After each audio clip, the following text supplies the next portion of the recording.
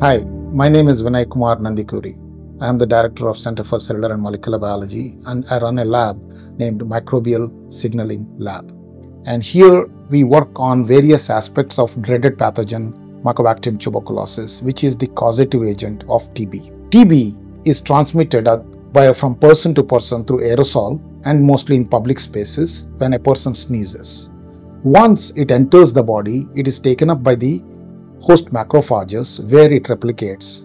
Host comes up with a mechanism to contain the infection by surrounding it with other immune cells, eventually coming up with a structure called granuloma. This kind of a granuloma has three different fates. If your immunity is very good, it gets eliminated, in which case it becomes ciliated granuloma. If your immunity is not good, you will get up getting an active disease. In other cases, in 95% of the cases, what happens is some kind of a balance is achieved or a ceasefire is achieved whereby you get latency.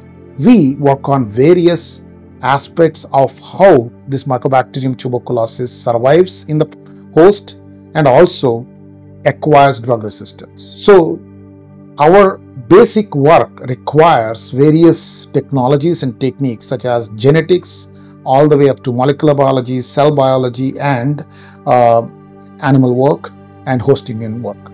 It is very important to study cell division process for pathogenic bacteria such as Mycobacterium tuberculosis because it ensures the growth and infectivity of the bacteria.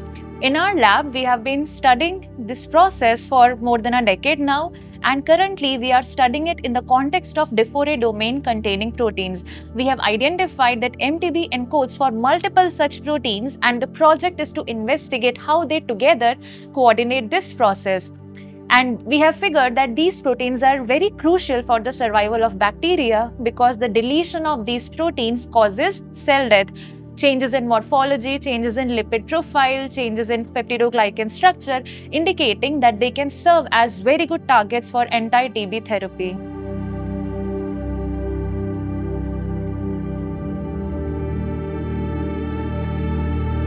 MTB secretes protein into the extracellular space with the help of three different secretion systems.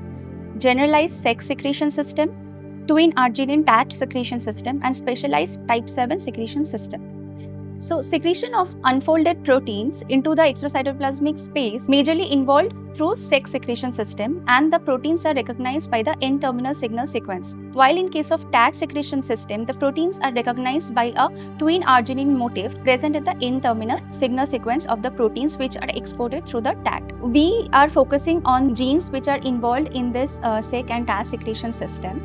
Genes are essential for the mycobacterial growth. So we are generating a conditional knockdown strains of these genes and we would like to see changes in the secretome in the absence of these genes and also in the context of mycobacterial virulence. MTB as a pathogen, it goes back and forth from its active form of infection to lat latency inside the lung macrophages.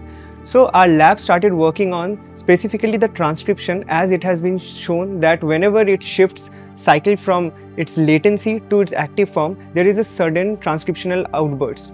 So that's how we came into this, uh, came into the topic of how transcription is regulated in Mycobacterium tuberculosis.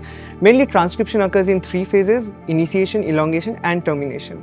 We are right now focusing on initiation and elongation of transcription. So the key players in, in these two processes are sigma factors and NUS proteins and of course the RNA polymerase. So how RNA polymerase, sigma factors and NUS proteins together orchestrate this function of transcription under different stress condition is what the lab is looking right now. Genetic mutations play a very important role in development of antimicrobial resistance in bacteria, posing a significant challenge to modern medicine. To address this issue, it becomes really important for us to identify these mutations first. Our current project focuses on generating a comprehensive whole genome library from around 13,000 clinical MTB samples collected from different parts of the country.